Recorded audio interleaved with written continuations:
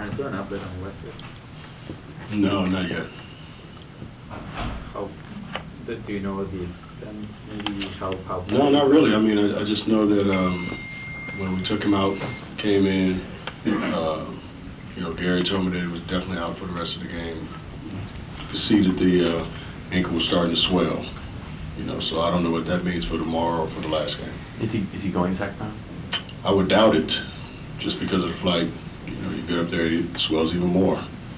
So, um, you know, I would doubt if he plays tomorrow.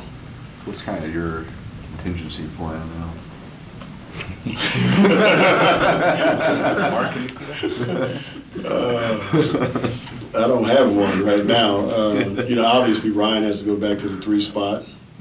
Um, Not obviously, I, I- I can't say obviously, or, you know, or Jabari plays the three or something like that. You know, it just kind of depends, I guess. It's, it's, it's, it's gonna be a weird lineup probably out there tomorrow night. Is this surreal for you at this point?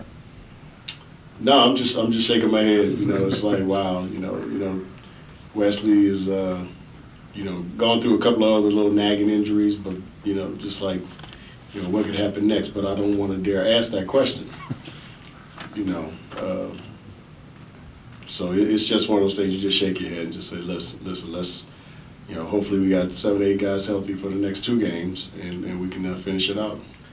How would you uh, assess Jordan's performance against tonight? He wasn't bad. I mean, he got a little careless a couple of times with the ball. Um, but overall, he, he wasn't bad. I mean, I mean, if you look at his numbers, his numbers were pretty good. But uh, you know, got on him a couple of times about running the team. You know, he, he's got to look, got to be a little bit more vocal at times. Um, defensively, he did a pretty good job of you know laying off of Rondo and trying to you know trying to help.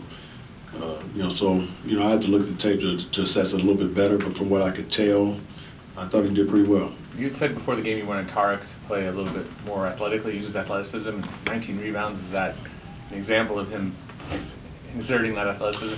That's a lot better than, than what I had been seeing. Yeah, just being more aggressive, uh, attacking the glass every time the shot went up. You know, so yeah, you know, that's, yeah, that's something that he's capable of doing because he has that type of athleticism. So, you know, he has to put it to use.